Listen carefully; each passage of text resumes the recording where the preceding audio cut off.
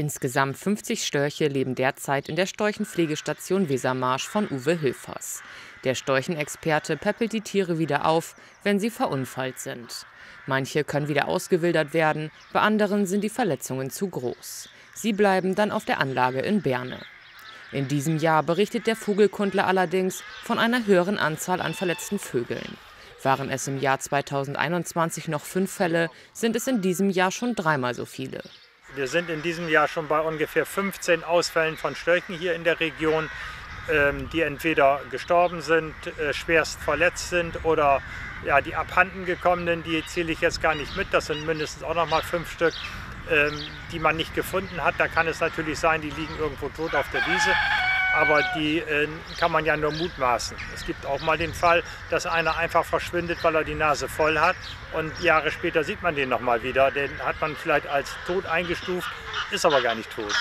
Und äh, bei den 15 Fällen dieses Jahr, und dieses Jahr ist noch nicht so lang, das Storchenjahr, ist es doch schon ganz schön viel, so viele Fälle aufnehmen zu müssen.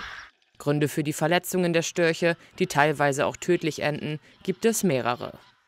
Man kann das nicht mehr direkt dem Verursacher zuordnen, aber man kann schon sehen, ob es sich um Leitungsanflug handelt, Verkehrsopfer oder ob dort ein Windrad direkt ein Teil abgetrennt hat. Wir haben einen Fall, da sind zwei Störche vermutlich vergiftet worden, wobei wir ähm, bei der toxikologischen Untersuchung nicht feststellen konnten, dass da Gift im Einsatz war wissen aber nicht, äh, es gibt immer Gifte, die man nicht so nachweisen kann. Und äh, es ließ sich nicht klären, woran die beiden Störche, die Brutstörche, die beide tot unter ihrem Nest lagen, gestorben sind. Und das ist ja auch ungeklärt.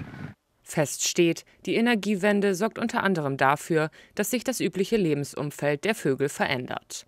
Windkraftparks entstehen an Wäldern und Feldern. Wenn die Tiere auf der Suche nach Beute von den Rotoren getroffen werden, ist die auswirkende Kraft so enorm, dass oftmals Beine, Flügel oder andere Gliedmaßen amputiert werden.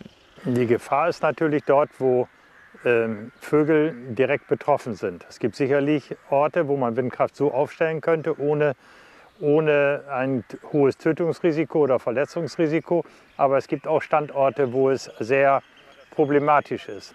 Ne? Also dort, wo sehr viele Großvögel, meinetwegen, die dort betroffen sind, äh, reinfliegen können. Und es ist halt so, es ist immer nur eine Frage der Zeit, fliegen sie heute rein, morgen rein oder beim hundertsten Mal vorbeifliegen.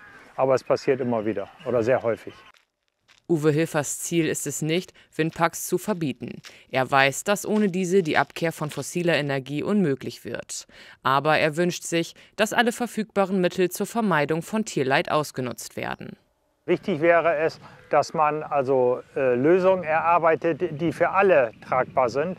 Also sie werden immer zu Schaden kommen, auch andere Vögel, aber man muss das halt minimieren und man muss da einen Mix finden, wo man sagen kann, es ist vertretbar. Und äh, da ist es eben auch wichtig, dass alle möglichen, die dazu was zu sagen haben oder Ahnung haben, auch äh, gehört werden und dass das nicht nur am grünen Tisch oder, oder von irgendwelchen Kartierern irgendwas festgeschrieben wird, damit sie den Park genehmigt kriegen, sondern dass man auch wirklich Fachleute mit ins Boot holt, die dort äh, was zu sagen können. Und es wäre doch wünschenswert, dass das alles vernünftig gleich von Anfang an, ohne nachher Anfechtungen vor Gericht und so weiter kommen, äh, wo dann das Ganze wieder gekippt wird. Und äh, das kostet Geld, Zeit und ja, ist nicht gut. Im Moment ist der Storch immer noch positiv belegt und die Leute nehmen sehr großen Anteil daran, wenn Störchen irgendwas passiert. Und äh, das ist ja auch gut so, sonst, äh, ja, wenn wir alle abstumpfen und sagen, ist doch ganz egal, ist doch nur ein Vogel, ob der nun tot ist oder nicht, das wäre wohl ein falsches Zeichen.